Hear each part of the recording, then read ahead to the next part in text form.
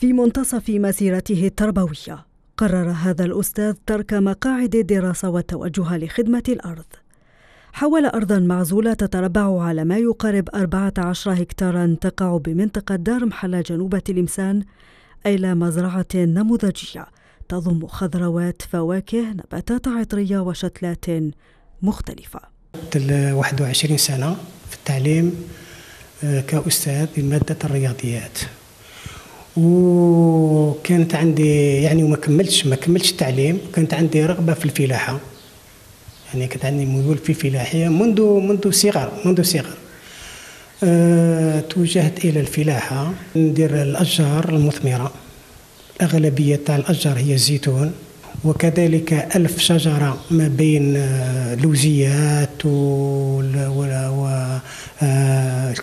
آه، الأستاذ الفلاح وبفضل إرادته وعزيمته تمكنت مزرعته من إنتاج فواكه نادرة وهو يسعى إلى تطوير نشاطه وتنويع منتوجاته. المكان مخصص للزعتر مخصص للنباتات مهم طبي النباتات الطبية والعطرية.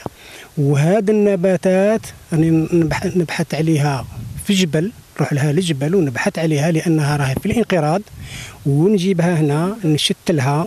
ومن بعد نعاود نغرسها بهت البيبينو وهي فاكهة استوائية.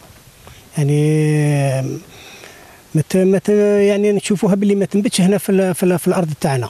المذاق تاعها يشبه للبطيخ بحيث تسمى بإجاص البطيخ. فاكهة استوائية الأصل نتاعها أمريكا. وهنا في الجزائر قليلة قليلة وقليلة بزاف بالبزاف موجودة في برج الكيفان.